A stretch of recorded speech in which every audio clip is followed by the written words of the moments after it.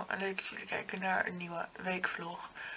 Het is vandaag maandag en ehm, ik zou eigenlijk gaan werken vandaag, maar um, lang verhaal kort. Ik heb vandaag een coronatest om 11 uur 33, 36, wat was het, iets in de 30. Um, want ik ben stront verkouden, ik hoest en ik heb het nog steeds benauwd. de eerste test die ik toen had gedaan, die die was negatief, maar ik was ook verder niet ziek of zo. Ik heb me puur laten testen omdat ik in aanraking ben geweest met iemand met corona. Maar nu ben ik zelf dus heel verkouden. Ik hoest en ik heb het benauwd. Um, dus leek het mij een goed idee om, uh, om mijn eigen te laten testen. Dus ik heb net, serieus net de testaanvraag gedaan. Ik heb ook net beslist dat ik een testaanvraag wil gaan doen. Um, gelukkig kan ik deze keer in Zuidland terecht en niet in Terneuzen. Dat is echt een ding. Um, dus um, dat eigenlijk. Ik, ik wilde het zeker voor het onzeker nemen. Ik heb net het werk gebeld, ik heb het werk gemaild en alles dat ik vandaag een, uh, een test kan doen. Dus niet beschikbaar ben vandaag. tegenwoordig plannen ze me al dubbel in omdat ze niet weten of ik wel of niet kom. dus dat is heel erg dat ze zo al moeten redeneren. Want eigenlijk hebben ze gewoon niks aan mij. En um, daar ga ik vandaag ook uh, veranderingen brengen, want het schiet zo niet op. Um, maar goed, wat vandaag dus op de planning staat, is een COVID-test. Nogmaals, ze zijn nog niet zo fijn en ik ga er dus nu één doen voor de tweede keer. Trouwens wel een ding, um, ik weet niet of ik het van hem mag melden, anders knip ik het gewoon uit. Maar Chantal heeft uh, corona, die is positief getest. Ze heeft verder nergens last van of zo. Ehm, maar ze is wel positief getest. En ik heb Chantal drie weken geleden gezien. Nou, kan het zijn dat dat geen invloed meer heeft. Maar ja, je weet het niet. Ehm, dus um, ja. Helemaal leuk. Dus ik ga vandaag nogmaals mijn test doen. Ik ga kijken of mijn opa beschikbaar is om mij daarheen te rijden. En anders dan ga ik met de fiets. Want ik kan niet anders. Of lopen. Maar lopen in Zuidland is, lijkt me geen goed idee. Dus um, de tweede optie wordt dan denk ik de fiets. In plaats mijn opa me niet kan brengen. Maar goed, het is nu dus 6 uur ochtends. Ik ben gewoon klaar wakker, want mijn wekker is gegaan. En uh, ik ga maar even een kopje koffie drinken, want ik heb verder toch niks te doen. Um, ja, dat was het eigenlijk. Ik ben echt ziek verkouden, maar goed, maar niet. Ik ben normaal nooit zo heel erg verkouden de winter. Vaak ben ik alleen maar verkouden um, als ik warm heb gegeten. Dan loopt mijn neus even of zo. Maar ik ben nu het hele weekend als grond verkouden. Dus dat, uh, dat zegt genoeg. En ik ben al benauwd het hele weekend. Dus ja, wat willen we nog mee jongens? Waarschijnlijk is 1 en 1 nu gewoon 2. En zo niet, ben ik er heel blij mee. En is dat wel het geval, ja, dan, uh, spreek ik jullie daar later wel weer over. Maar uh, ja, het is nu in ieder geval een kwestie van wachten tot het 11 uur is. Dan rij je naar de testlocatie en dan uh, gaan we testen. Jee, ik heb er zin in, maar niet eens. Ik vind dat zo naar. maar goed, het is niet anders. Oh, goed, en de straat op. Jongens, het is koud buiten. Ik heb dit, deze jas aan. Dit is de warmste jas die ik heb. En nog heb ik koud. Maar goed. Um, ik ben onderweg naar de coronatest. Het rotte is dat ik totaal niet in de gelegenheid ben om uh, daarheen gebracht te worden. Um, dus moet ik met het openbaar vervoer. Mag natuurlijk niet. Ze hebben het ook liever niet. Maar ja, het kan niet anders. Want anders kom ik er niet. En ik ga niet op de fiets, want ik moet dan helemaal door de polder heen. En dat ga ik niet trekken naar, naar Zuidland. Dus um, ik ga met de bus. Eerst even één half met de metro en daarna met de bus. Maar ik heb wel eigenlijk heel veel zin om, uh, om daarheen te gaan. Tenminste, ik ben daar dus nog nooit geweest. Ik ben natuurlijk alleen in Terneuzen geweest. Nou, dan heb ik liever geen coronatest. Wat zeg ik eigenlijk allemaal? Het zal wel. Maar goed, in ieder geval. Ik, ik heb er dus eigenlijk helemaal geen zin in. Maar ik weet hoe, is. Dus ehm, ik ga het waarschijnlijk niet zo heel vervelend ervaren, omdat ik nu al weet wat het is. Maar goed, daarentegen blijft het koud. En blijft het rot om daar helemaal naartoe te gaan. En daar heb ik eigenlijk geen zin in. Helemaal naar Zuidland. Maar goed, maakt niet uit. In ieder geval uh, onderweg. Kijk, het verschil is, de eerste keer had ik nergens last van. En ging ik puur, wat ik vanmorgen al zei. Heb ik vanmorgen gezegd, ja, volgens mij. De eerste keer ging ik er natuurlijk puur heen. Om het feit dat ik in contact was geweest met iemand met corona. En nu ga ik erheen omdat ik zelf klachten heb. Dus ja, ik ben in ieder geval wel blij dat ik zo snel terecht kom. Dus ik ben heel benieuwd. Goed, de bus rijdt net weg. En uh, ik ben inmiddels in Zuidland. Ik moet alleen even kijken hoe ik moet lopen. Oh, ik loop dus goed. Ik moet met de bus meelopen, die kant op. Dan had ik beter hier ergens tussendoor kunnen gaan, volgens mij. Ik ben nu volgens mij een rondje aan het lopen. Nou goed, maar niet. Ik volg deze route wel gewoon. Het is ongeveer 900 meter lopen, dus dat is nog wel een stuk, maar volgens mij ligt het daarachter. Dus dat wordt een rondje lopen. Maar goed, geef niet. Ik, zolang ik gewoon deze route volg, is er hopelijk niks aan de hand. Hier geen teststraat. Oh, oké. Nou, dan lopen we maar even door. Ik weet anders ook niet hoe ik moet komen. Oh, sloot. Oeh, nog, nog bijna in de sloot. Dus nee, hierachter zit het volgens mij. Maar goed, we gaan maar even kijken. Uiteindelijk ben ik uh, drie keer zo lang onderweg. Dan een test die misschien maar binnen vijf minuten is gebeurd. Is gebeurd of zo hoor. Dus uh, ja. Goed, ik zie daar nog meer mensen met auto's. Met mensen achterin met mondkapjes langs rijden. Dus ik gok erop dat het hier ergens moet zitten. Tenminste, daar komt het wel op neer, denk ik. Ik heb anders geen flauw idee. Op de autoweg stond dat je die moest volgen. En dat komt hieruit. Dus dan zal het wel hier zitten. Want als ik met de auto was geweest, dan had ik hier ook kunnen middelen. Kijk even waar ik kom. Ik zit gewoon meer op een industrieterrein in Zuidland.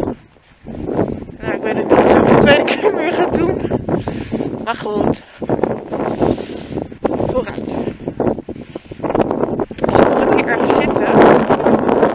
Testlocatie bevindt zich aan het einde van deze weg. Nou, lekker is dat. Moet ik nog drie kilometer gaan lopen. Oh jongens.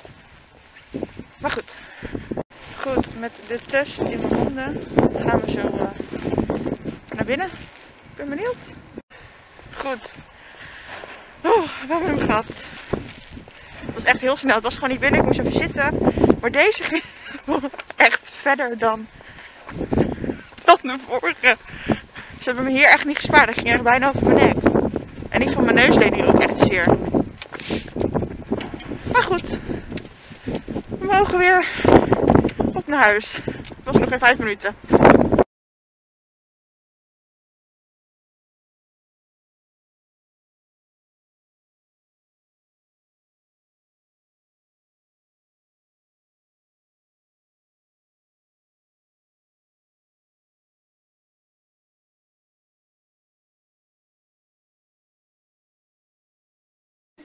Goed, ik ben even tv aan het kijken jongens, maar het is de volgende dag en ik heb gisteren iets gedaan. Mijn haar was dus zwart en is nu blond bruin. Een mix van. Ik had eerst bruin geverfd, lichtbruin, mijn eigen haar weer kleur weer terug, dus dat is het nu. Alleen dit is nog steeds wel redelijk donker door alle donkere haarverf die ik heb gebruikt. Maar dit is dus mijn eigen kleur. Wat je hier ziet. Dat heb ik geprobeerd terug te verven. Redelijk gelukt. Maar mijn haar is nu dus in plaats van zwart. Is bruin. Het is nog steeds donker en het is nog een beetje nattig op mijn hoofd. Dus vandaar dat dat ook donkerder lijkt. Maar ehm, de corona-uitslag is nog steeds niet binnen.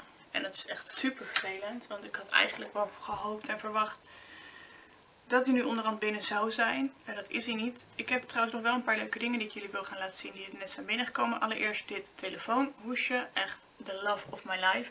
Namelijk, ik heb een telefoonhoesje gehad met een foto van Milo erop. Maar dat is heel snel heel lelijk geworden. En het eerste wat ik toen dacht, weet je wat ik ga doen? Ik ga een hoesje laten maken met de namen erop. Dus um, zo gezegd, zo gedaan. Die is er nu. Milo, Karel en Flo. Super blij mee. En het is ook een leuk kerstachtergrondachtig hoesje. Ehm, en ik heb nog twee andere dingen besteld. En dat, die zijn binnengekomen. En die ga ik even beneden pakken. Want die liggen nog beneden. En mijn haar is bruin. Goed, allereerst deze super leuke groene. Ik vond de kleur super vet. Leather looking bag. Die. En twee andere. Die, oeh. Even gelijk gooien twee andere dingen. Dat zijn allereerst, ik heb ze al uit het zakje gehaald. Ik heb bij, ik ga een linkje in mijn bio zetten. Sera erbij Celine, Celine, ik weet niet hoe je het zegt. Ehm, heb ik oorbellen besteld. Ik heb ze ook voor mijn moeder besteld. Ik ga ze ook gelijk in doen. Ik heb voor mezelf twee paar. Moeder één paar. Ik heb namelijk voor mijn moeder en mij. Oh, er zit er nog eentje in. Die wilde er niet uit. Ja, daar zijn ze. Ik heb, mijn moeder is namelijk gek van vlinders en ik kwam deze bij haar tegen. Dit zijn oorbelletjes met vlindertjes. En ik heb wit, mijn moeder heeft beige. Die zijn echt super schattig. Ze zijn echt wel leuk. En ik heb deze nog besteld. Die vond ik heel leuk. Voor de kerst vind ik dit ook heel tof. Met van die leuke pedeltjes aan het oorbelletje zo. Super cute, maar die hou ik nog wel even netjes. Dus die stop ik weer in het zakje terug. Want ik heb namelijk op dat kleine achterste gaatje heb ik een heel klein rondje. En dan wou ik hiervoor, ik heb nu ook eigenlijk gewoon een hoek daar zitten. Maar ik wou hiervoor even die vlindertjes doen. Dus die ga ik gelijk in doen vind ze super leuk. Het is bij haar allemaal echt zilver. Dus dat is ook heel leuk. En het is best wel betaalbaar. Het is echt niet duur bij haar. Kijk hoe cute. Ik heb vlinders. Zo leuk. Mijn moeder, ik, mijn moeder en ik zeiden eerst van ja, zal het niet kinderachtig zijn? Maar dit is zo subtiel dat het gewoon niet kinderachtig is. En gewoon best wel leuk. Ik heb nu vlinderoorbelletjes. Hoe leuk iets verder naar voren toe. Zo. Helemaal leuk. En ik heb dus deze nog. En je krijgt het ook echt in een superleuk zakje. Met een handgeschreven kaartje erbij. Met een briefje erbij met bedankt voor je bestelling. En alle um, socials. Dus die ga ik ook zeker eventjes in de beschrijving zetten. Onder deze video. Dus hou dat even in de gaten. En check het ook eventjes. En het is echt heel erg leuk. En dan heb ik nog iets jongens. En hier ben ik zo blij mee. Ik ga er zelf wel eentje in mijn... Uh, kamer zetten. Ik wilde eigenlijk wachten, maar op zich kan ik dit wel laten zien. Of zal ik ermee wachten? Ik ga een kleine sneak peek laten zien. Ik heb kerstkaarten laten maken. En hoe of wat, want ik weet dat iemand dit kijkt. Waarna ik een kerstkaart ga sturen, namelijk Kim. Ehm, dus um, ik wacht daar nog heel even mee. Ik vind het zonde als ze het wel ziet. Het is veel leuker als je het straks ziet en denkt, oh zo leuk. Want het is ook echt heel leuk. Ik ben er heel blij mee. Ik heb de kerstkaarten dit jaar trouwens bij Griets laten maken. Ik had ze vorig, vorig jaar bij de kruid... Was kruidvat? Volgens mij het vorig jaar kruidvat. Maar dat beviel me echt niet heel erg. Ik heb ze nu bij Griets laten maken en het is zo leuk. Oeh, ik laat bijna de rest zien. en, en het is echt heel erg leuk geworden. Dus ik ga deze in de kast zetten. En wachten tot ik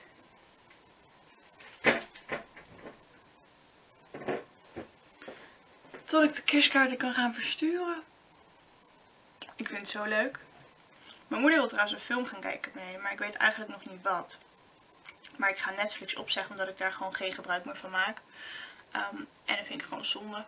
om het dan aan te houden. Dus ik ga nu, ehm, denk ik, Disney weer nemen. Ik heb namelijk de hele tijd Disney Plus gehad. Die heb ik toen opgezegd. En ehm, omdat het allemaal een beetje te duur werd en ik maakte er niet zo heel veel gebruik van.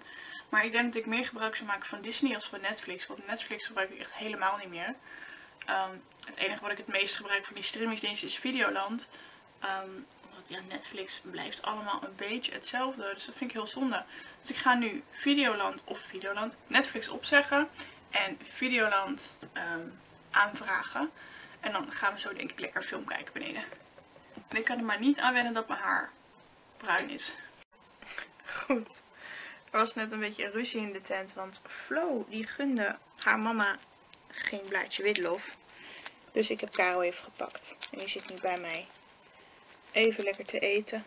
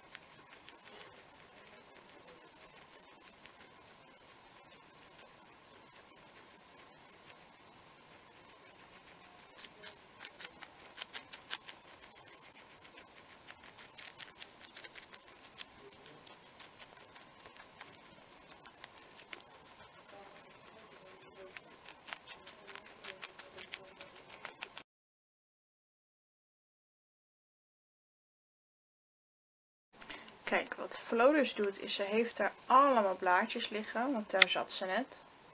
En daar heb ik ze haar ook gegeven. Maar wat zij nu dus doet,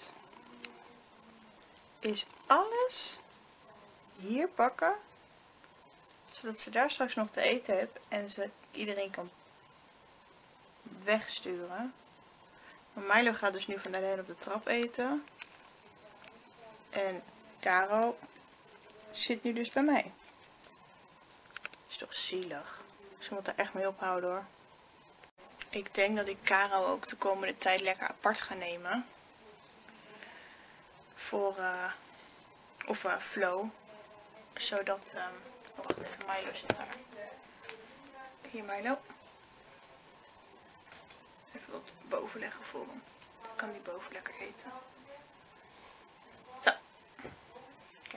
Flo is nu dus alles aan het pikken. Zodat de rest zometeen niks meer heeft. Terwijl zij in de hoek gewoon genoeg heeft liggen. Maar dat vindt, ze runt de rest gewoon niks. Dus wat ik zeg, ik heb nu expres Karel op schoot. Omdat ze anders niks kan eten. En voor mij nog geldt hetzelfde. Maar ik ga dus proberen Flo de komende tijd apart te nemen als zij groente krijgt of iets. Want ze eet echt alles op. Ze gunt niemand iets. Dat is echt niet leuk voor die anderen. Dus um, we gaan het even anders doen de komende tijd. Maar goed, in ieder geval, uh, deze dame zit lekker nog te eten. De andere twee ook. En ik ga zo lekker slapen. Dus ik zou zeggen, tot morgen.